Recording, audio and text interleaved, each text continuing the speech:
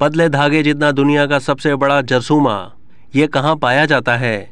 रवा साल फ्रांसीसी और अमरीकी साइंसदानों ने दुनिया का सबसे बड़ा जरसूमा दरियाफ्त किया है, जिसकी जिसामत आम मक्खी से ज़्यादा है। इसे थ्यू मार्ग्रेटा मैग्नीफे का नाम दिया गया है। देखने में बिल्कुल पतले धागे की तरह है। ये जरसूमा कैरेबियन के साहिलों पर मैंग्रोव्स के जंगलात में पाया जाता है।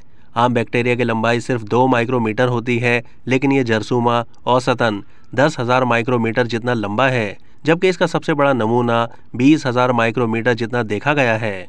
यानी ये आम बैक्टीरिया के मुकाबले में पाँच हज़ार से दस हज़ार गुना तक बड़ा है। इस नौ दरियाफ्ता जरसूमे का जेनूम एक करोड़ दस लाख डीएनए, असासी जोड़ों और ग्यारह हज़ार जीन पर मुश्तमिल है।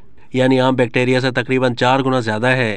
थ्यू मार्ग्रेटा मैग्निफिका की खास बात यह है कि इसमें बैक वक्त प्रोकैरियट और यू कैरियट दोनों की खसूसियात मौजूद हैं, जो इसे बाकी तमाम यक हलवी जानदारों से मुनफरद बनाती हैं। अब तक के लिए इतना ही। मजीद मालूम के लिए डेली जंग के यूट्यूब चैनल को सब्सक्राइब कीजिए।